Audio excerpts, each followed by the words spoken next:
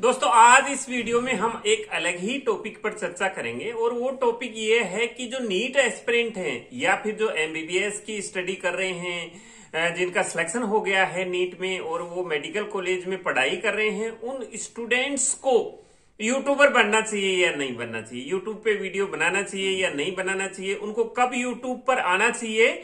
और वो कितना पैसा कमा सकते हैं इस यूट्यूब चैनल से? उनका करियर कितना सेफ़ है यूट्यूब पे?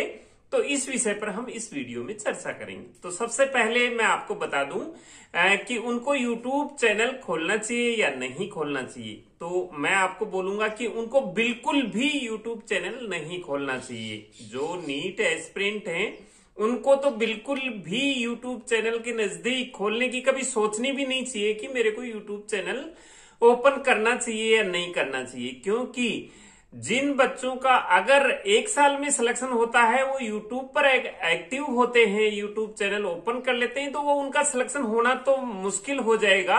अगर वो फिर भी ज़्यादा कोशिश करते हैं तो एक साल की बजाय उनका तीन साल लग जाएगा सिलेक्शन होते होते तो मेरा ये मानना है कि उनको तो ये सोचना भी नहीं चाहिए कि उनको यूट्यूब चैनल ओपन करना है। रही बात उन स्टूडेंट की जिनका नीट में सिलेक्शन हो गया है मेडिकल कॉलेज में ऑलरेडी वो ज्वाइन कर चुके हैं मेडिकल कॉलेज में first year second year final year में किसी भी ईयर में है वो। उनको भी यूट्यूब चैनल नहीं ओपन करना चाहिए। क्यों?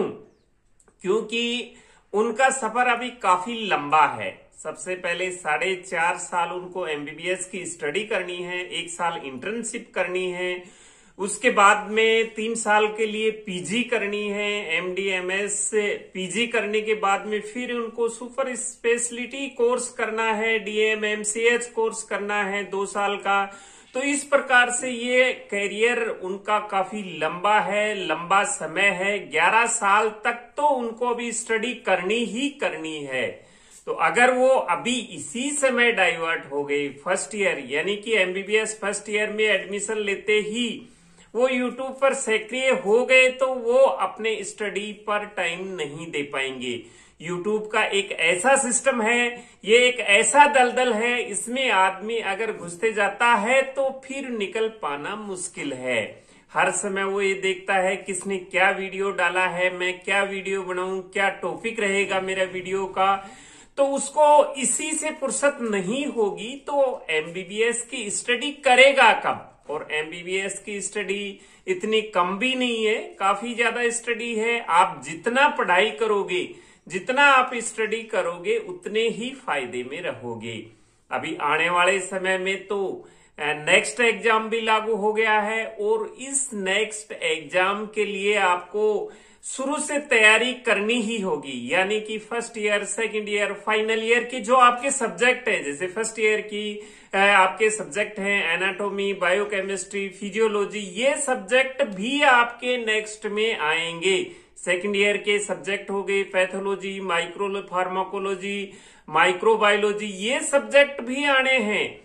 और फाइनल के सब्जेक्ट तो आने ही आने हैं। टोटल 19 सब्जेक्ट्स जो एमबीबीएस में पढ़ाए जाते हैं, वो पूरे के पूरे आपके नेक्स्ट एग्ज़ाम में आएँगे। तो जो बच्चे यूट्यूब पर एक्टिव होंगे, उनको कहीं ना कहीं लॉस होगा स्टडी में। वो एमबीबीएस की स्टडी इतनी अच्छी तरह से नहीं कर पाएँगे, जितना अगर वो यूट्यूब पर ना होते तो वो अच्छी तरह से अपना स्टडी कर पाते। अच्छी तरह से, मेरा कहना ये है, अच्छी तरह एमबीबीएस करो। अच्छी मेहनत के साथ में एमबीबीएस करो, अच्छे मार्क्स के साथ एमबीबीएस करो नेक्स्ट एग्ज़ाम अच्छे मार्क्स के साथ क्वालिफाई करो ताकि आपका पीजी में, क्योंकि अभी तो नेक्स्ट एग्ज़ाम के मार्क्स पर ही तो पीजी में सिलेक्शन होना है। तो आपको पीजी में सिलेक्शन आपका अच्छा हो पीजी में आपके अच्छी ब्रांच मिले आपको, पूरे 19 सब्जेक्ट्स में तो डिमांडिंग सब्जेक्ट सिर्फ़ चार पाँच ब्रांच ही तो हैं। जैसे सर्जरी हो गया मेडिसिन हो गया गाइनो हो गया, ये आपको सब्जेक्ट नहीं मिलेंगे तो फिर पीजी करने का फ़ायदा क्या है? अगर आप शुरू में ही यूट्यूब की तरफ़ डाइवर्ट हो जाते हैं तो मेरा कहना यह है कि आप कहीं ना कहीं अपने स्टडी से कुछ ना कुछ समय मिस करेंगे। और वो कुछ ना कुछ समय जो मिस करेंगे, वो आपके लिए बड़ा ही नुकसानदायक होगा। मेरा हमेशा ये मानना हुआ है मैं हमेशा ये मानता हूँ कि अगर आप किसी काम को कर रहे हैं तो पूरा मन लगा के आप उसी काम को करना है। तब आप उसमें सफलता हासिल कर पाएँगे। आप एमबीबीएस तो कर लेंगे। एमबीबीएस कर लेंगे, लेकिन आप अगर एक यूट्यूबर नहीं हैं यूट्यूब या फिर अन्य कहीं आप अपना टाइम स्पेंड नहीं कर रहे हैं, आप पूरा टाइम एमबीबीएस की स्टडी में लगा रहे हैं तो आपके लिए ये बेहतर होगा यूट्यूब पर आने की बजाय। तो मेरा फिर आपसे यही कहना है कि आप चाहे किसी स्टेज पर हो, आप चाहे एमबीबीएस की स्टडी कर रहे हो फ़र्स्ट ईयर में हो सेकंड ईयर में हो फाइनल ईयर में हो, किसी भी ईयर में हो, आपको यूट्यूब चैनल बिल्कुल भी ओपन नहीं करना है। हाँ एमबीबीएस के बाद आप सोचते हैं कि मैं आगे कुछ नहीं करना। मैं यहीं अपने आगे करियर को स्टॉप कर रहा हूँ। मैं यहीं से प्रैक्टिस करना शुरू कर रहा हूँ। तब आप यूट्यूब चैनल ओपन कर सकते हैं। तब आप लोगों को यूट्यूब पे पढ़ा सकते हैं। अपना अनुभव शेयर कर सकते हैं। लेकिन आप ये सोचते हैं कि मेरे को अभी एमबीबीएस करना है, उसके बाद पीजी करना है, उसके बाद सुपर स्पेशलिस्ट कोर्स करना है उसके बाद आगे एक बहुत बड़ा डॉक्टर बनना है, तब ये यूट्यूब की तरफ़ में आपको बिल्कुल ही नहीं सोचना है कि मेरे को यूट्यूबर बनना है या नहीं बनना है। तो ये तो बात हो गई कि आपको यूट्यूबर बनना चाहिए या नहीं बनना चाहिए। पहले अपने आप कैरियर को संभालो। अपने फ्यूचर में आने वाले टाइम में किसको कितना टाइम देना है, ये देखो आप। उसके बाद सोचना आप यूट्यूब पे आने की। दूसरी बात यूट्यूब का एक ऐसा सिस्टम है, इसमें जो स्टूडेंट है यूट्यूब पे आते हैं शुरू शुरू में अच्छे चैनल चलते हैं यूट्यूब के देखा गया है, क्योंकि यूट्यूब शुरू के चैनलों को प्रमोट काफ़ी करता है, उसके बाद चैनल को साल, दो साल, तीन साल, पाँच, सात साल लग जाते हैं तो यूट्यूब चैनल को प्रमोट करना बंद कर देता है। और उसके बाद में जो व्यूअर्स हैं आपके वो घटने लग जाते हैं। नीट में तो ऐसा है कि नीट में जो फ़र्स्ट ईयर के स्टूडेंट हैं, जिनका नीट में सिलेक्शन हो जाता है, वो ऑटोमेटिक ही आपको छोड़ के चले जाएँगे। सेकेंड ईयर में दूसरी साल नए आपके सब्सक्राइब आएँगे। वो आपको एक साल तक आपसे जुड़े रहेंगे, उनका सिलेक्शन हो जाएगा, फिर वो हट जाएँगे। तो इस प्रकार से हर साल नए व्यूवर्स आते रहेंगे। और पुराने वाले व्यूवर्स घटते जाएँगे। तो आपका एक वैसे ही यूट्यूब से आ, मतलब थोड़ा सा क्या है कि सब्सक्राइब डिक्रीज होना शुरू हो जाएँगे। तो यूट्यूब की कमाई का जब हम देखें तो ये शुरुआती में तो अच्छी कमाई होती है लोगों के अच्छे अच्छे कमेंट्स भी आते हैं लेकिन जब धीरे धीरे धीरे धीरे टाइम निकलता है तब तब सब्सक्राइब भी घटने लग जाते हैं और उसके बाद में धीरे धीरे आपकी जो कमाई है, वो भी डिक्रीज होने लग जाती है। तो मेरा तो कहना यह है कि YouTube एक सेफ़ कैरियर नहीं है। अमूमन YouTube पर दो तरह के लिए लोग आते हैं। सबसे पहले पैसा कमाने के लिए और दूसरा नाम कमाने के लिए। तो मेरा जहाँ तक मानना है पैसा और नाम, ये आपका जो यूट्यूब चैनल है, वो दो चार साल ही चलेगा। उसके बाद में डिक्रीज होना शुरू हो जाएगा। तो ये स्टूडेंट के लिए एक सेफ़ कैरियर नहीं है इसमें। इसके बाद में हम बात करें कि YouTube से आप कितना पैसा कमा सकते हैं। तो YouTube से मैं अपने पैसे की बात करूँ तो पैसे की कमाई उतनी ही होती है कि हम चार पाँच स्टूडेंट को फ्री कोचिंग में पढ़ा सकें। इतना आप एवरेज कोचिंग की फ़ीस का आइडिया लगा सकते हैं कि एक स्टूडेंट की एवरेज फ़ीस कितनी होती है। साल में आप चार पाँच स्टूडेंट को फ्री कोचिंग पढ़ा सकते हैं। बस यही इतनी कमाई होती है यूट्यूब से।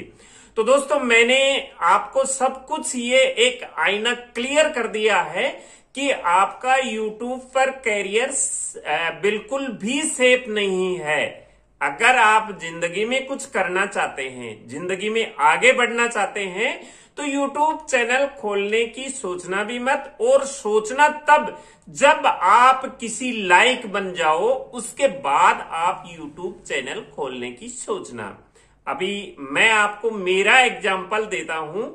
मैं अपने बेटे को एक अच्छा प्लेटफॉर्म दे सकता हूँ, वो भी एमबीबीएस कर रहा है, लेकिन मैं उसको यूट्यूब के नज़दीक भी नहीं आने देता, क्योंकि जब तक वो इस लाइक नहीं बन जाता, तब तक यूट्यूब चैनल खोलने से कोई फ़ायदा नहीं है।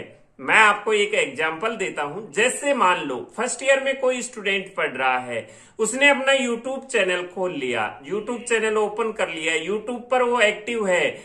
वीडियोज़ आजकल यूट्यूब पर कौन से चल रहे हैं? स्टूडेंट मेरी हॉस्टल लाइफ क्या है? मेरे क्लास में क्या पढ़ाया जाता है? कैसे पढ़ाया जाता है? ये मोटिवेशनल वीडियो है। इस प्रकार के वीडियोज़ काफ़ी चल रहे हैं। और उन्हीं पर स्टूडेंट के व्यूज़ आते हैं।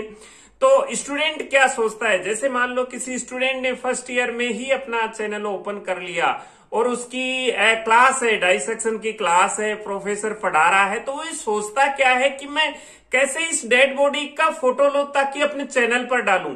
वो पूरे पीरियड यही सोचता रहता है, वो जो प्रोफेसर क्या पढ़ा रहा है, उसने ये कुछ नहीं सुना। वो इसी ताक में रहता है, मैं कब इसका फ़ोटो लू, कब मेरे नेट पर कैसे डालूँगा, कैसे यूट्यूब चैनल पर इसके बारे में बताऊँगा, बस वो यही सोचते सोचते उसका पूरा क्लास खत्म हो जाता है। उस क्लास में उसने कुछ भी नहीं सीखा। ये एक एग्ज़ाम्पल दिया है मैंने आपको।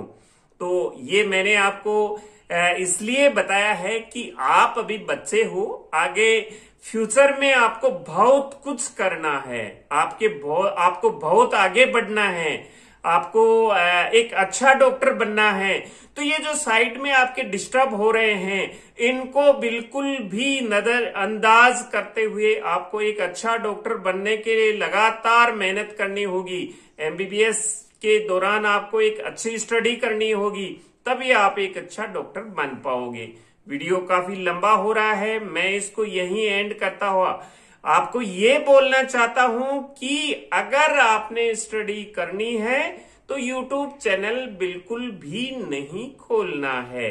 बाकी अगर आप YouTube चैनल ओपन करते हैं, किसी को कोई नुकसान नहीं है, किसी को कोई फ़ायदा नहीं है। न मेरे को कोई नुकसान होने वाला है, न मेरे को कोई फ़ायदा होने वाला है, न किसी और को नुकसान होने वाला है। लेकिन आपका, अपने आप का नुकसान होगा, ये मैं आपको क्लियर बता देता हूँ। तो ये मेरे कुछ व्यूज़ थे, जो मैंने आपके साथ शेयर किए हैं। आपको अच्छा लगे तो मेरी बातों पे अमल करना, बुरा लगे तो मुझे माफ़ कर देना।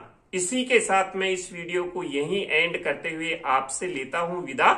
जय हिंद।